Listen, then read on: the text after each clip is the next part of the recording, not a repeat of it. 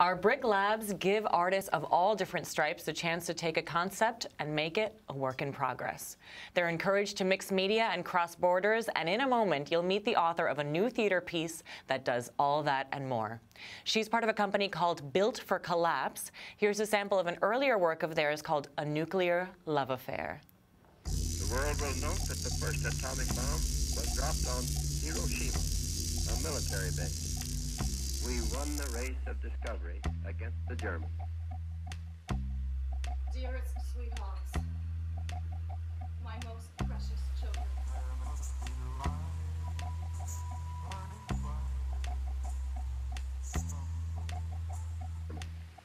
We have used it in order to shorten the agony of war.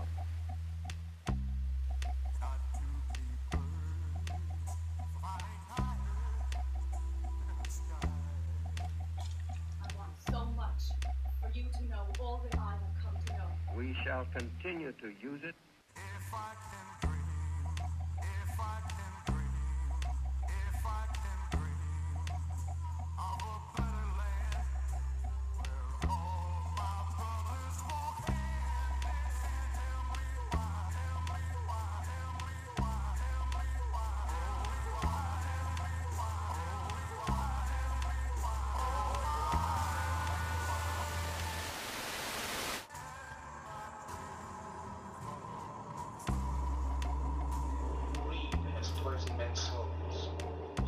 eradicated the world with hate.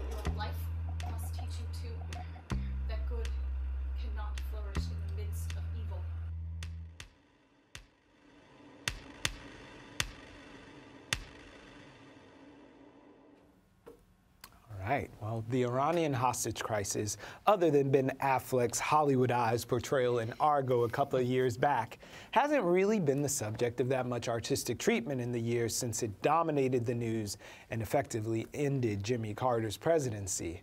Well, here in America, we've seen even less about how it affected the Iranians themselves. Right now, Built for Collapse, the company that performed in the clip we just saw, is working on a new work in progress called Red Wednesday. It addresses the story of Iran's political and cultural revolution by interweaving bits and pieces of historical transcripts, interviews, and other primary sources with the original words of our next guest. She is the writer and director and DJ. DJ. Yeah. Sanaz Ghajar. Welcome to the show. Thank you. I'm happy to be here. Welcome. Okay. Tell us about DJing. DJing.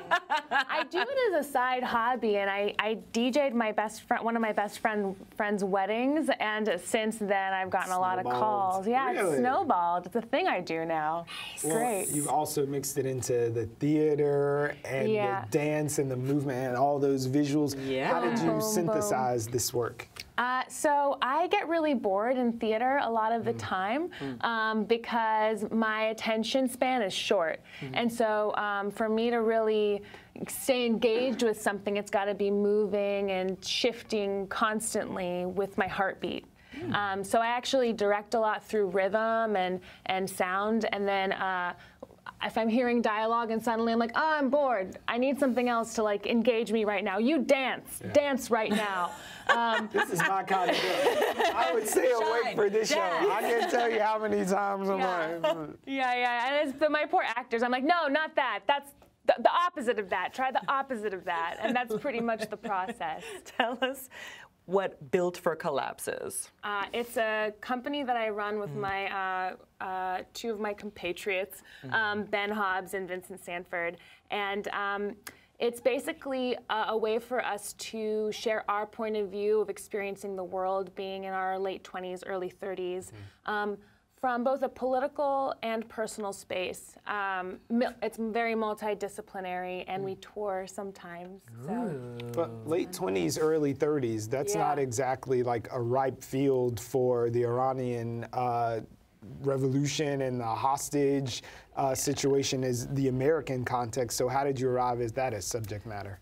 For me, um, my great uncle was the foreign affairs minister during the hostage crisis in Iran, Sadegh Ghotbzadeh, and he was actually executed before I was born. And I heard so many stories about him as a hero and then later as a murderer, depending on what side you mm-hmm. um, were listening to. And uh, it sort of it was the inspiration uh, for addressing Iran and America and their very complicated relationship, which goes back ages ago. You know, like.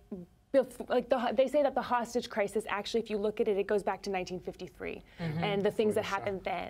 Yeah. Um, and so I thought, well, okay, I'm coming from a personal space. I have all these personal stories from my family, and I also have this incredible research that I've done um, on other sides of the story. What if I pull this all together and take a look at it from this almost objective, removed space? So that's kind of what inspired me to uh, address it. And it was also right when Rouhani was um, coming into office and the Green Revolution was happening and Gezi Park, uh, the protests there were happening in Arab Springs. I mean, it just felt like we were in this moment of revolution. The world was pushing you toward Yeah. making this work. Yeah. Yeah. And have you been here this whole time? Are you from here? I'm from You're New from- York, okay. and uh, no, I'm not. I like to say that, um, but I'm. I was born in the U.S. Um, and then I actually grew up part of my life in Iran. Um, in first grade, my parents got divorced, and uh, I ended up in Iran with my grandparents. Um, and I heard a lot about the revolution growing up. You know, I mean, the my family. They say this thing about how trauma moves through the DNA, and um, Saw that We're just talking doulas. about Yeah. that. yeah, yeah. Uh, did I miss it? Was it on earlier It's today? on a video. episode? Go Yes. to BRIC TV Okay. on YouTube. Exactly. Um, and and I feel like I was sort of inherited all this trauma and also these stories that they told me of the trauma they experienced with the hostage crisis, with the um, Iran-Iraq War. I mean, I had all of this in me, and um, yeah, Yeah. That, so yes, I was and you've Iran. actually been, and so you get to have you get to weave that in too, because so many people of your generation, of our generation, who are Iranian, have never been, can never go. I mean, don't have that experience. I mean, that may be woven into this piece will really speak to them as well. Yeah, and I'm very, very lucky to have had the experience of being in Iran. And it's a beautiful culture and it's a beautiful country. And when, I mean, I had the opportunity to um, learn the language and really immerse myself, and they're not very different at all from any of us. And We never I, I- are. yeah, right? you know, and, I, and it's like, well, if I'm standing on the border and I can see that side and I can see that side, mm-hmm. which I do with my mother and my father a lot, mm-hmm. um, you know, like it's the same thing, you know, looking at it from this lens, how can I find the commonalities? And it comes back to something I think you guys were saying in the earlier segment about how we are all this global community. Mm-hmm. And that's my philosophy about it. So that's a lot that you just laid on us. And all of that manifests itself in a, what, 90 minute? Yeah, oh yeah, in like a 90 minute extravaganza. We love an extravaganza. yeah, yeah, yeah, yeah. What are the different mediums used in this piece? Um, I mean, media is a huge part of it in terms of film and um, projections work. Uh, it, it's a character in the show. Um, we loaded in last week and we've been in tech the whole time. We like to rehearse with lights and sound, and they're in conversation with the actors. Um, and there's huge dance pieces inside of it. Straight dialogue, absurdism. I mean, I try to pull out everything I possibly can. This is why I love the BRIC Lab. I know. so when can we is it? finally get a peek? Uh, March 4th and 5th at 7:30, we're going to be having uh, our, our our showings, Yeah. and it's a, and I feel like it's it's going to be a show. You know, we'll see. It sounds like it's gonna be a What more It's gonna you be ask for? something. gonna be an It's gonna be a extravaganza. show. spectacle. and there's also a feedback session afterwards where we talk with the audience, and I want, really want to hear. That's the big thing right now. I don't know what the audience's role is, Mm-hmm. Yeah. and as a theater maker, it's so key. Feel the room. Yeah, so we need people there to tell us what they what their experience is. March 4th Excellent. and 5th.